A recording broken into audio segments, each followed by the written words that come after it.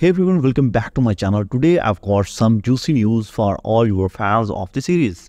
If you are as a obsessed with the ups down of Lexi and Stefan relationship as I am, then stick around because season 2 episode 4 is dropping on September 18, 2024.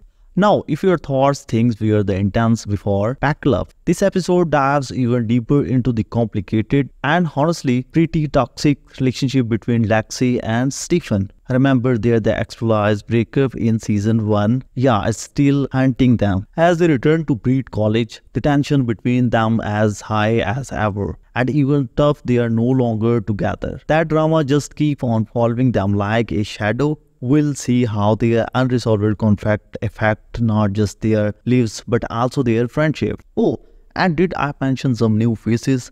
Yep, we got Tom played by Lael and Laurel played by Tom Doherty, who are about to shake things up at the bring whole new level of drama. Get your popcorn ready. So, if you love a good mix of relationship drama, college tension, and fresh new characters, hey, don't forget to subscribe to the channel for all the latest update recaps and juicy gossip from the show. See you in the next video.